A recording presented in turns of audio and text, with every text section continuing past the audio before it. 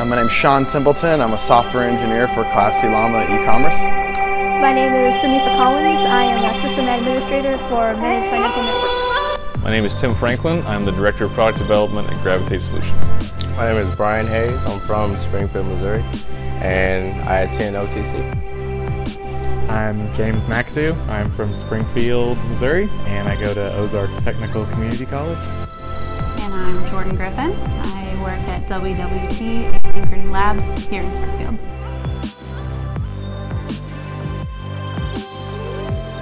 Just being able to develop these things that I don't normally get an experience to with an amazing team to learn that with. My favorite part was getting to talk to some of the mentors, the people that had a lot of experience. There's so much about what we've done this entire weekend that is just completely brand new. Learning a new technology. I haven't done much mobile beyond just Swift, so learning a cross-platform framework was interesting.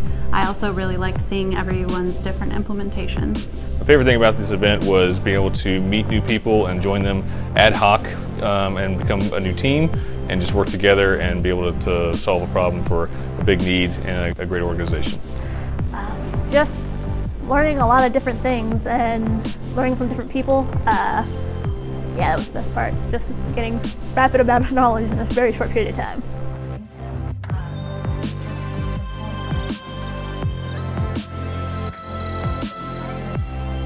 Uh, I'd say absolutely.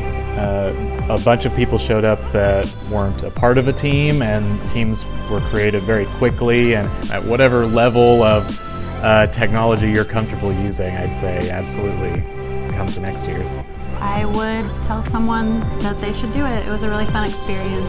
It's a great community, and you'll definitely learn something new. Learn more about what's going on, read up about it, watch the videos, and be excited about being able to come and help somebody. It's not about the competition, it's not about um, the, whether or not you know something. It's all about learning and having fun and providing value to some great people as well as just having a great time. I would tell them to come. Just come. Uh, this is my second year doing it. It's the second year I didn't have a team pre-planned.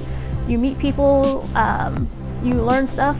It's a learning curve for a lot of people, and that's fine. As long as you just come, you'll have a good time. I was nervous at first about coming because I was alone. Um, I had one person who thought about coming, wasn't able to make it from being sick, and then I met um, amazing teammates to be able to go with, people I never met before. It was a great way to meet new people and yeah, it's just you get to meet new people even if you think you're not ready for it, you are.